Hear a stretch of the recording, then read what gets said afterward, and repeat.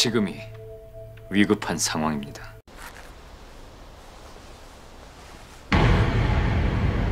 한평생 오부치 살게 해달라고.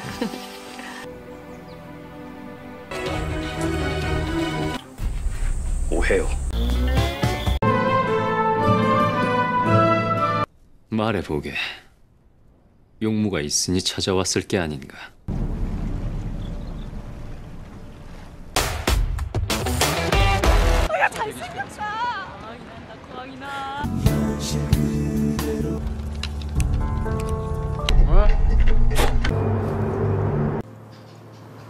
괜찮아. 뭐라 해야 되노?